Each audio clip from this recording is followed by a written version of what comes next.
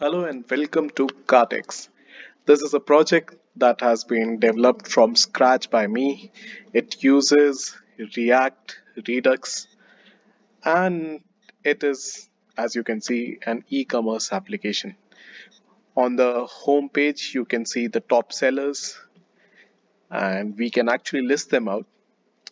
Here you can see the featured products. You can also go search for your favorite products. You can search for something else, say a shirt, and this will work. Here you can see different ways to sort your listing. If you just click on the left hand side, you'll see various categories that have been placed by different sellers. Now, let's say that if you want to buy a product called the Apple iPad, you'll go to its screen. And if you want to post a review, you'll have to sign in. Same goes for adding this to the cart. So let's try to buy an iPad. If I increase the quantity over here, we'll see that dynamically the total value will be updated. Let's try to buy a single iPad right now. When I click on checkout, it'll prompt me to a screen where I can either sign in or I can create new account. Let's try creating a new account over here.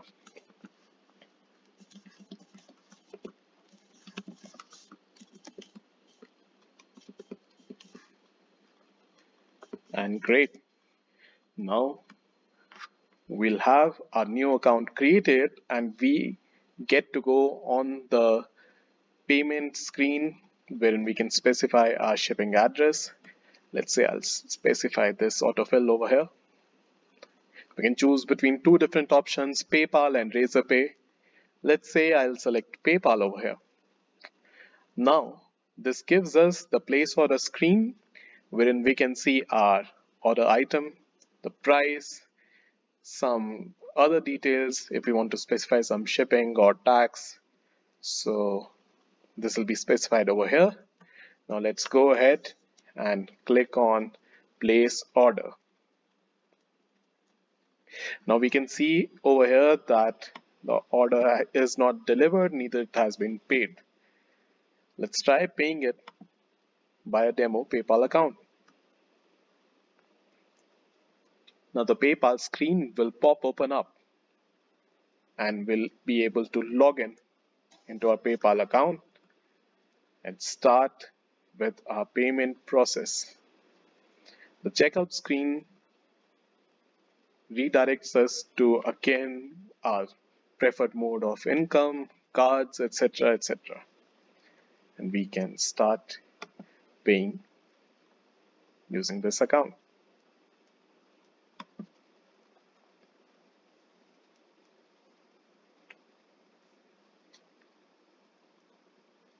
Once the order is paid, we can dynamically see that when it was paid in our orders section.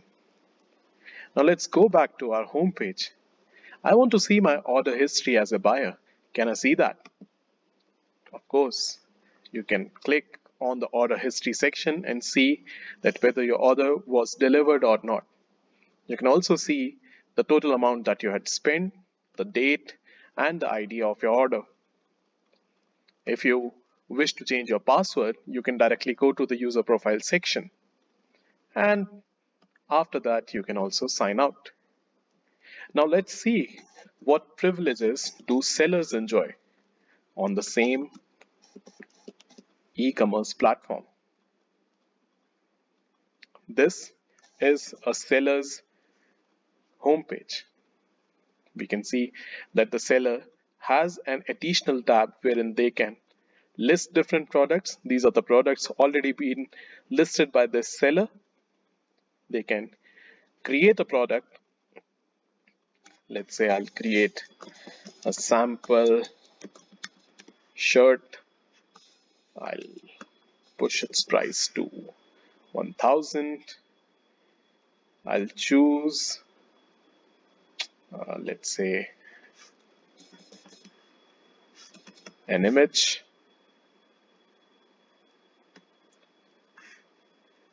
I'll make this category as shirt. And I'll keep the brand as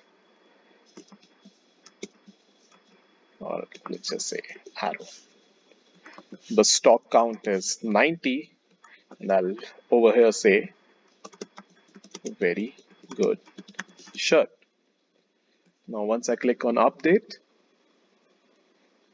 we'll see our product being created now this is the product that we just created right now and we can see this is our seller name called seller if we click over here we can see our seller details being listed on the screen and all the products that this seller has created. Now let's move back to our home screen and try to see what all orders are over here. So this seller has one order and we can check its details. So the order was paid and right now it's not delivered. This is seller screen for now. We can also see how an admin user will behave. Now I'll sign up with my admin account.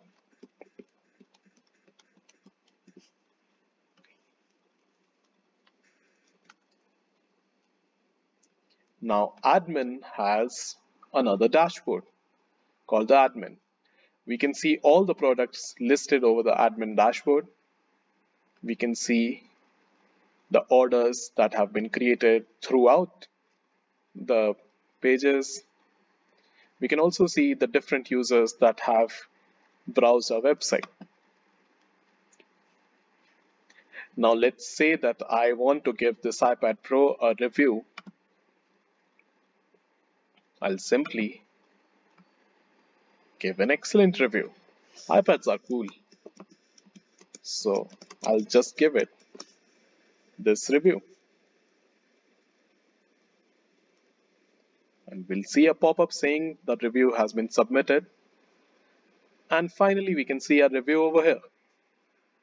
Now, does it reload? Sure, we have one review. So this for now has been a project that I had started a couple of weeks ago. And just to show you how different actions have been performing over here this is the state management done by Redux. And it has been amazing in a sense that it has enabled me learn a lot understand the intricacies involved in developing such a big website and understand that how we can better create such large scale projects. So if I say this, so the sorting also works. There is a lot to be done over here. I'm planning a full-fledged admin dashboard right now. But as of now, this, this seems awesome. Leave a comment and let me know how you feel about this project and how uh, what all features would you like to see over here. So thank you.